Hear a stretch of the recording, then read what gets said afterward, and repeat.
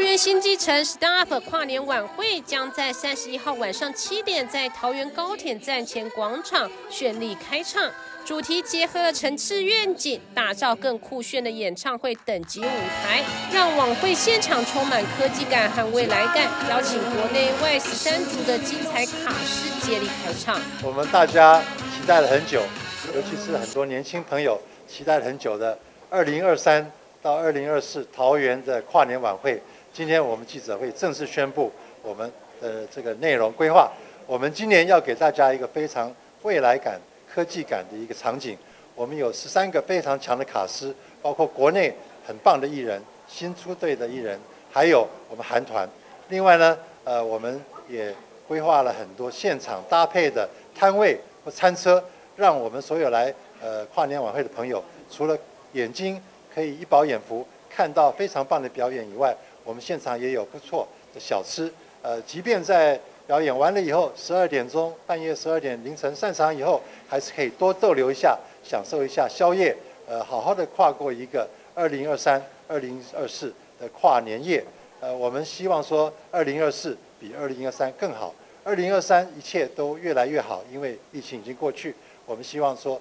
这个跨年晚会之后，二零二四我们大家二零二四过得更快乐，呃，我们桃园也会越来越好。这次跨年晚会由雨山和陈大天担纲主持，并邀请了动力火车、叮当、黄伟晋、熊仔、马飞诗、严艺阁等人轮番演出，还邀请到韩团在现场与观众朋友们一起压轴倒数，陪大家一起迎接新的一年。呃，我们这个地点是在桃园高铁站前面，所以如果高铁可以搭的朋友，当然非常方便。此外呢，我们这边也有集结，集结当天晚上，我们不但会加班，而且呢会连续四十几个钟头。换句话说，就彻夜都不会停驶。呃，所以你在现场要待到一两点、三四点，其实都会有集结可以搭，呃，可以搭乘。另外，我们也有很多接驳的公车，不管是到桃园火车站，或是到这个中立火车站，我们接驳班车也会，只要现场有需求，我们接驳班车也会陆续的一直在行驶。